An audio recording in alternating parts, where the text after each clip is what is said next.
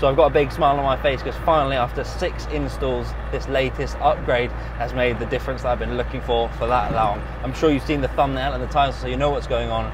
Let's go into the video and take a look at the install.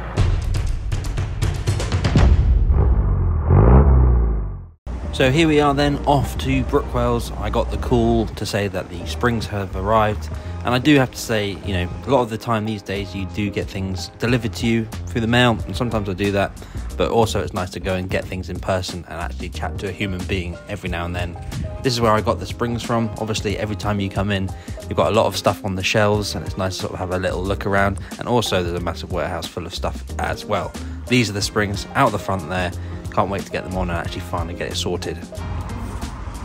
While I was out and about, went into Halfords, our classic, pretty terrible car store in the UK, um, known as Halfords if you're from anywhere other than the UK, to get some axle stands. Mine were broken, I'll mention that later. Got the three uh, ton ones, these are ratcheting ones, and uh, they're just going to help with the install today. So let's get cracking, get home, and uh, let's take a look at these. Right, so there we go. Going to get them out of the box, have a look at them. Can tell they're nice and heavy. And now we're going to sit down, have a talk about it. And instead of looking at my boring garage, let's try an AI background. See if you can tell the difference. So as you would have just seen, I just unboxed these new OME springs. These are plus 500 kilo heavy duty ones for the rear from Brookwells. I picked them up the other day. I popped in to go and grab them in person and had a chat with them about sort of the setup because the other day I picked up some 300 kilo ones thinking that they'd be right, a good compromise, but it actually turned out that they were not heavy duty, they're sort of a medium duty. Put them on and they were no better than the ones before, I would say. They're great if you've got less load, you know, roof tent and camper, but for me with the roof tent and the camper on, it was all a bit heavy. Going around corners at sort of 50 miles an hour on a B road, it was all just feeling a little bit too sort of out of kilter. So for me, I've opted to go for these 500 kilos with the option to also go for some adjustable airbags that will go in the center, but we'll look at that in the future. Make sure that these are all okay for now. And if they're not quite enough stopping the wallowingness, do that in the future, but I'm gonna put these in and I'm sure these are gonna make a hell of a difference. If you can't tell, it is absolutely roasting out here. Uh, it's gonna be a lot of uh, sort of shadow and contrast today because it is boiling. If you jam that in there, that's a good shock. That there as well.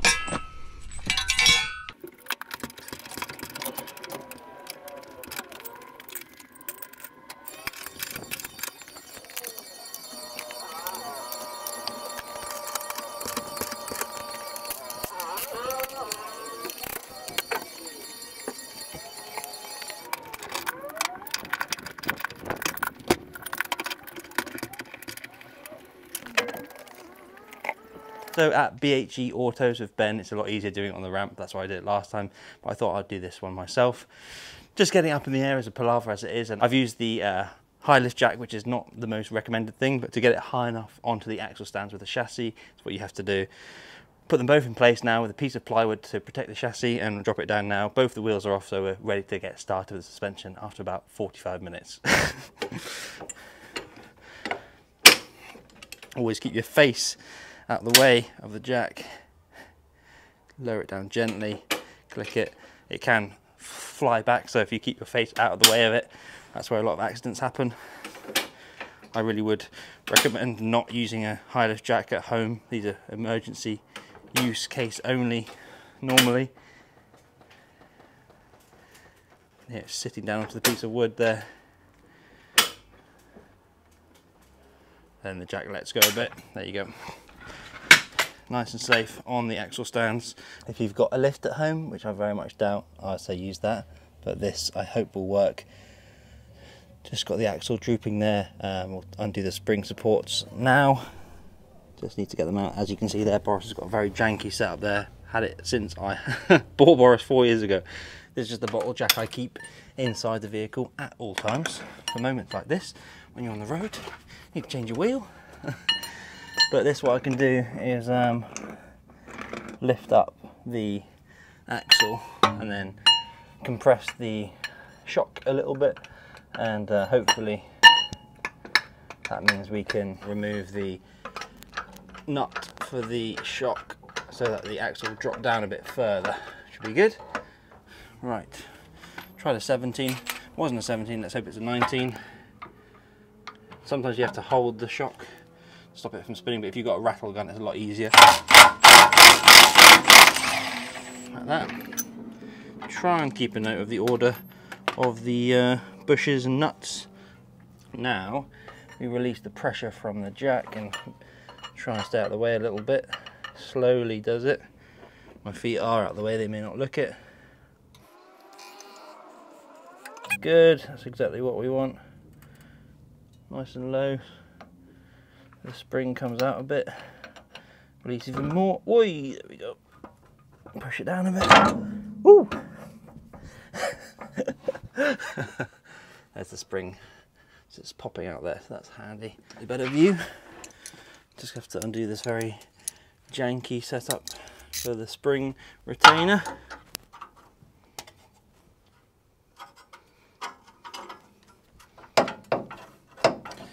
So if I put my foot on here and then try and release that, I'm sure that'll work.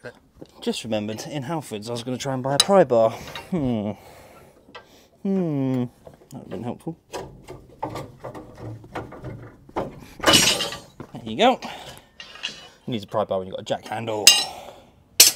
Sweet, that's one out. one quarter of the puzzle. So here's the two springs side by side. Uh, this is the old one that's just come out. Actually looks pretty clean still, which is impressive.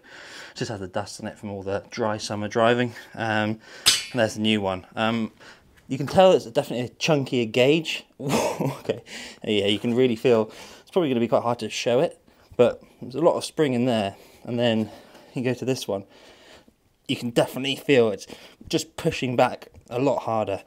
Um, the old ones I had were, there's a lot more compression of coils up here, and that was with the genuine Land Rover one. This one's still got a nice amount of spacing all the way through, um, but hopefully that means it's going to be nice and supportive, but with a, a, comfy ride. So we'll have to see. Hey, literally, this is where our problem came in the first place. There's so many different numbers from where you're getting it from, their numbers. It's worth speaking to you know someone you're getting it from. So I spoke to the guys at Brookwells, and they definitely helped me out. And uh, yeah, it's definitely handy to be able to have someone else's sort of opinion and chat with someone about it because uh, there's so many different options.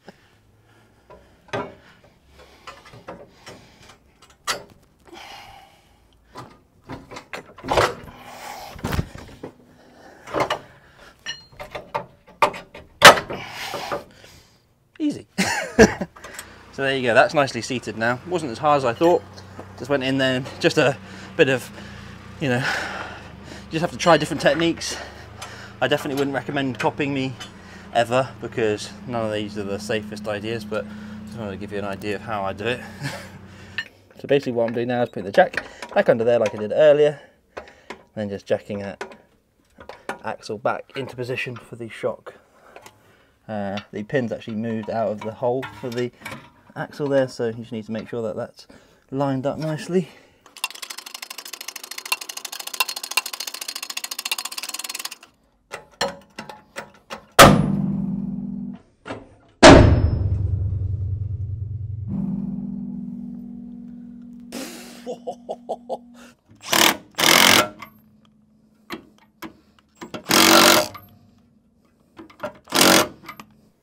So, real no much difference from the original look.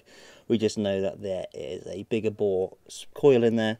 And when I picked these up from Brookwells a little while ago, um, they definitely made a difference when I had the original springs in as well. But I think this in combination would be great. We'll See what it's like and then we'll go for airbags if we need to. But yeah, happy that those are like that. And let's go to the other side.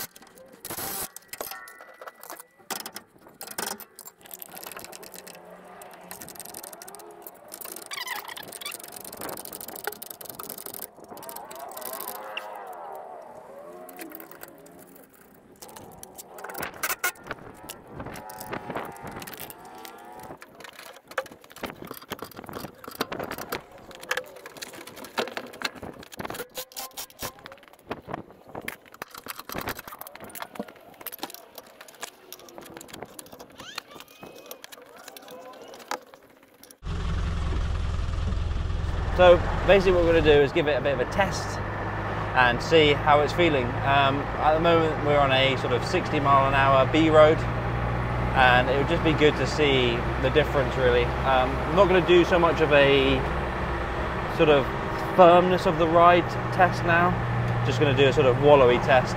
Um, I expect it to be quite a rough ride, it's heavy duty, uh, but that's better to be safe than sorry on the sort of curvier uh, B roads like this. Just did a little bit of a test then. I think it's feeling better already. okay, cool. Right, so even just from the first few corners, I can tell that I've made the right decision already. Um, yeah, I'm very happy with that. Before, it just was feeling, getting to the point where I was actually going around corners where was feeling slightly, not, I wouldn't say dangerous, but getting to the point where you're feeling you're on the edge of like control loss because the front wheel almost felt like it was lifting because the front suspension was quite stiff and the rear was loose. So the back seemed to be dropping and the front almost was lifting off and you had to sort of lean against it, especially on these sort of 50, 60 mile an hour B roads. Going around corners, it was where they was really having problems. So I'm super happy with the reaction of that straight away. And I'm not even sure if we're going to have to put the, sa the sandbags, airbags in just yet. So I'm not sure about that. First impressions, the first five minute drive, uh, I'm happy with it so far. Just, you go around the corner, there's a bit of movement, but it doesn't wallow over, which is great. And that sort of compliance I'm happy with. Um, and I'm hoping that it's going to be the sort of amount, right amount of weight.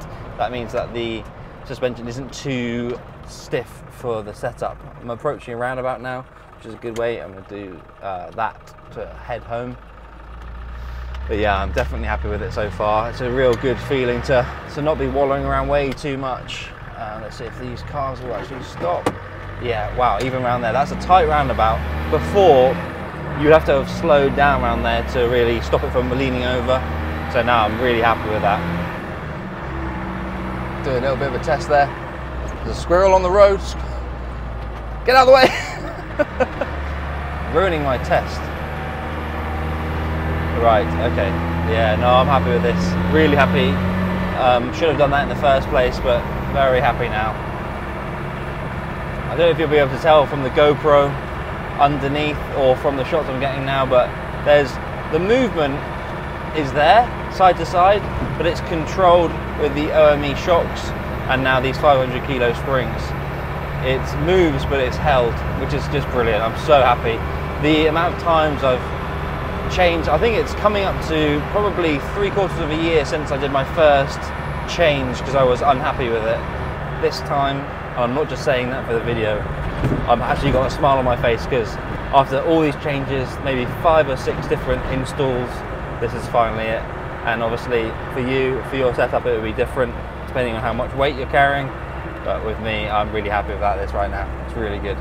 So I'm going to wrap up the video there. I want to thank Brookwells for helping me out with this, supplying the springs there, always helping out on the phone there, which is absolutely fantastic. Really happy with this install. What I'm going to do is spend a few more days, a few more weeks, go to Billing, go do some off-road, do some motorway miles, and work out if I do want to add the airbags as well. I think it would be a good addition because obviously with passengers, with fully laden, we haven't got anything in apart from the, just the camper. I reckon that would be a, uh, a good decision to go for those, but I'm going to make sure to test these first. It's always good to test and see how they go. So I hope you've enjoyed the video today. Um, like and subscribe if you want to, and um, hopefully I'll see you next time.